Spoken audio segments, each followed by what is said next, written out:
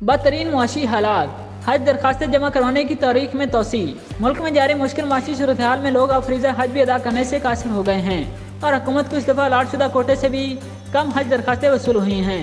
इस सूरत हाल को मद्देनजर रखते हुए हुकूमत ने रेगुलर हज स्कीम के तहत दरखास्त जमा कराने की तारीख में दो अप्रैल तक तोसी कर दी गई और स्पॉन्सरशिप हज स्कीम में दरखास्तें वसूल करने के लिए आखिरी तारीख में नौ अप्रैल तक तोसी कर दी है। तर्जमान वजारत मजहबी अमूर के मुताबिक रेगुलर हज स्कीम में दरखास्तों की वसूली में दो अप्रैल तक तोसी कर दी गई है। नामजद बैंक हफ़्ता और इतवार को हज दरखास्तों की वसूली के लिए खुले रहेंगे। नामजद बैंक खोलने की इजाज़त हासिल करने के लिए स्टेट बैंक से रब्ता कर लिया है। तर्जमान के मुताबिक स्पॉन्सरशिप हज स्कीम में दरखास्तें वसूल करने के लिए आखिरी तारीख में तोसी कर दी गई है। जिसके बाद दरखास्तें नौ अप्रैल को जमा कराई जा सकेंगी। बैरून मुल्क मुकीम पाकिस्तानियों को रकम भिजवाने में मुश्किल के बाद तोसी का फैसला किया गया है।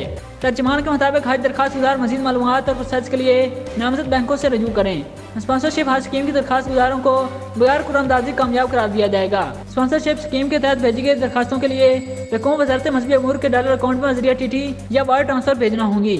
भिजवाए गए रकम की तस्दीक और प्रोसेस के लिए दरखास्त गुजार या करीबी अज़ीज़ बैंक से रब्ता रखें। दूसरी तरफ़ वजारत मजहबी अमूर ने स्पॉन्सरशिप स्कीम के लिए सफारत खानों और वजारत खारजा से मदद मांग ली है। स्पॉन्सरशिप हज स्कीम के तहत वजारत को तो से कम दरखास्तें वसूल हुई हैं।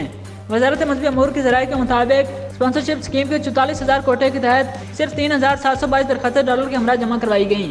स्पॉन्सरशिप स्कीम में अब तक तीन हज़ार सात सौ बाईस आदमी ने डॉलर जमा करा के कन्फर्म हज का टिकट कटवाया। सरकारी हज स्कीम के तहत अड़तालीस हज़ार आठ सौ सत्तर आदमी ने हज दरखास्तें जमा करवाई हैं।